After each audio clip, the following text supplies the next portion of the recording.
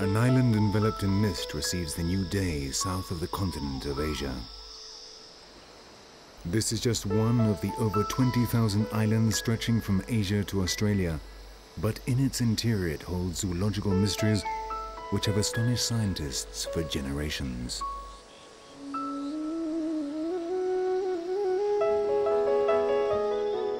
When the first European explorers came to the Indonesian archipelago at the start of the 16th century, they could hardly believe their eyes.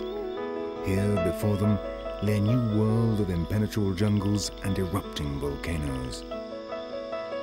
A world of darkness and mystery.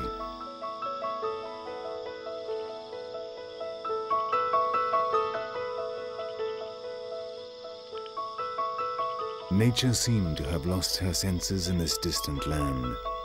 Here they found plants that fed on animals and fish able to remain out of water without perishing. Each fresh discovery brought a new mystery.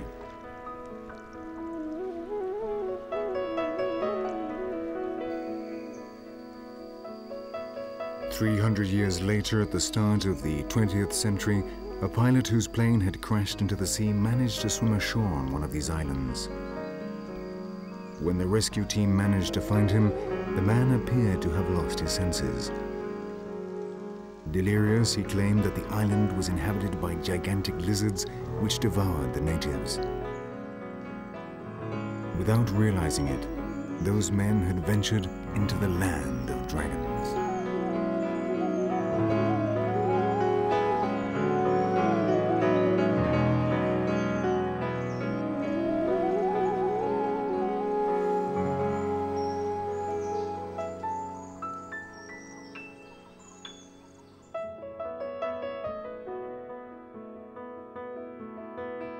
During the glaciations of the Pleistocene era, the polar ice caps increased in size and the level of the sea fell. Some islands remained isolated, while others became joined to the continent. Java was one of these.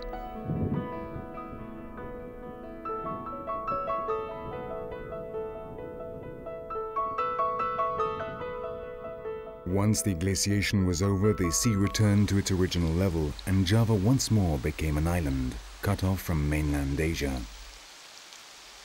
From that time on, its fauna and flora took different evolutionary roads from those of the continent, roads which would lead to the creation of legendary creatures.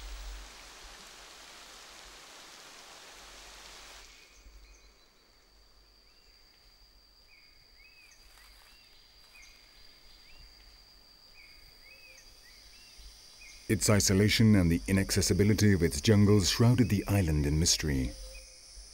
The rare visitors from the continent returned with strange stories telling of unfamiliar animals. The tales spread, were modified and exaggerated, and by the time they reached distant Europe, they had become fabulous legends of mythological creatures.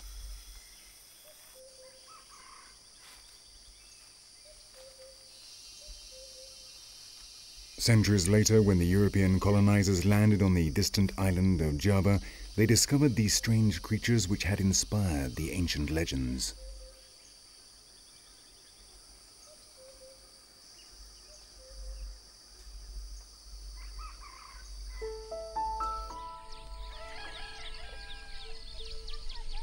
The Europeans, however, were not the first to reach the island. Human beings already lived here in the Neolithic period over 4,000 years ago, and their descendants live there still.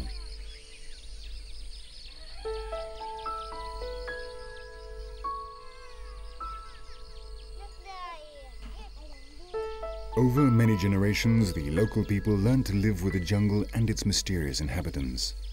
They introduced cattle rearing, cut down trees, planted crops and hunted. Still today they retain a way of life and traditions similar to those witnessed by the first Westerners to arrive in these lands.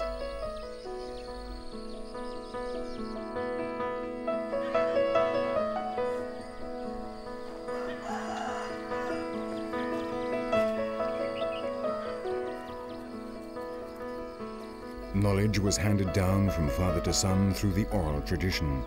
The new generations learned from their elders which plants to cultivate and with which techniques, which were the best pastures, and which fish were edible.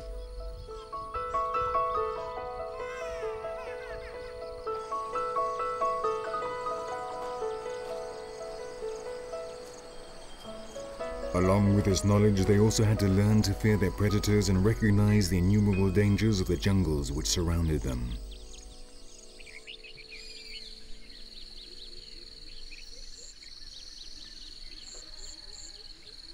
From them, the European explorers received the first descriptions of the fauna of the area. The visitors' lack of scientific knowledge would transform these explanations into fabulous tales.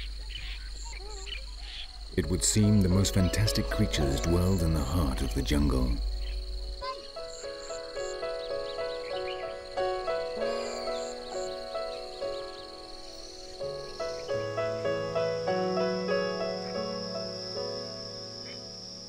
The majority of these animals lived in the most extensive of the ecosystems of the island, the tropical rainforest.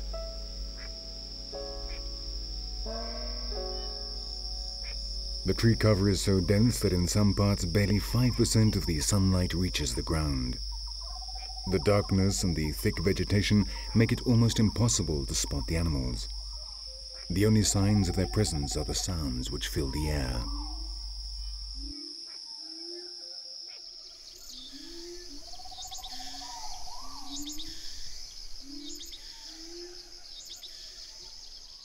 It is impenetrable jungle in which the trees acquire strange shapes and animals remain hidden to the human eye. The colonizers were in no doubt. This must be the dwelling place of those animals spoken of in legend.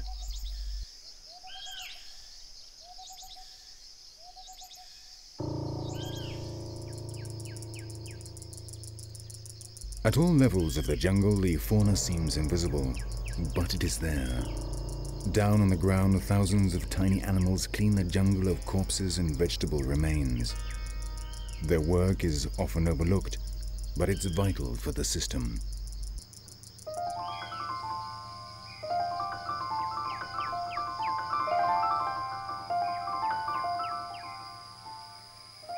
The zoological order insects is the most numerous in the rainforest.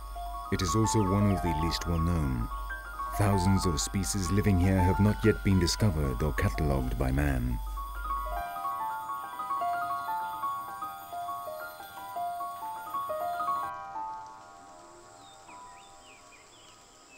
Much of the local fauna can be found up in the trees.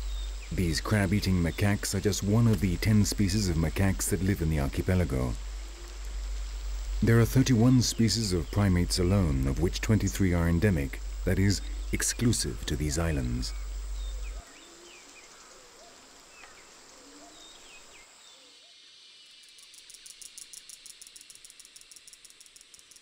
Isolation gave rise to many endemic species and incredible biological diversity.